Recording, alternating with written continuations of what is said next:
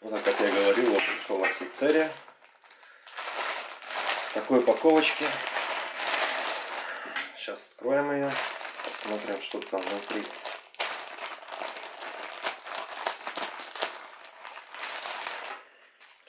Аксид из Китая заказывал.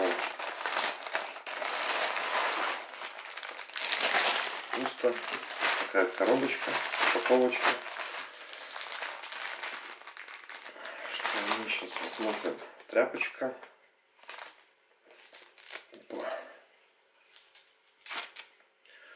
Тряпочка для хер его знает для чего. Посмотрим.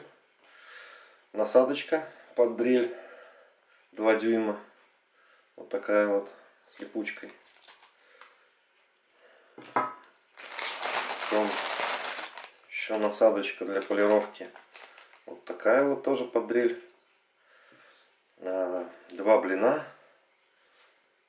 Тоже полировочных под, под дрель. Не знаю, как это как такое вот можно отполировать лобовое стекло, не знаю. Сколько это займет времени. В диаметре 2 дюйма. Это 4 сантиметра с половиной. 3 с половиной, вернее. Еще какая-то насадочка маленькая. И сам оксид церия. Разводить надо в воде теплый. Не знаю, попробую. Попробую Посмотрим, что будет, выйдут царапки или нет. А, опять же, новое лобовое стекло, ну как новое, год ему. Поставил год, э, год назад. Установил самое дорогое, которое было. Ну, не оригинальное, но самое дорогое, которое было для Mercedes.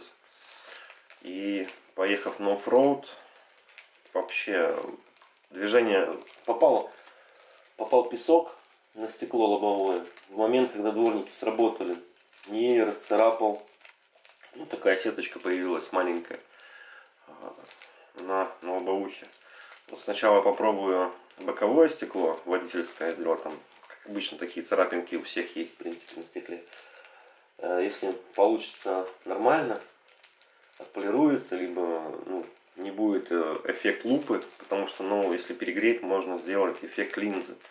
На лобовом стекле как бы не очень хотелось бы получить эффект линзы. Вот. Потом, потом отпишу, покажу, как это все выглядело.